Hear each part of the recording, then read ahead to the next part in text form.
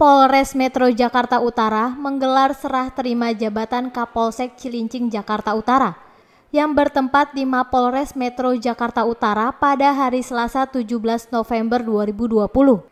Dengan khidmat Kapolres Metro Jakarta Utara, Kombes Pol Sudjarwoko sematkan jabatan Kapolsek Cilincing dari sebelumnya Kompol Iman Tulus Budiono kepada Kompol Eko Setio Budi Wahono dalam upacara sertijab turut serta diikuti oleh Wakapolres Metro Jakarta Utara, PJU Polrestro Jakut, serta Kapolsek jajaran. Sampai dengan selesai, acara berjalan dengan tertib dan khidmat.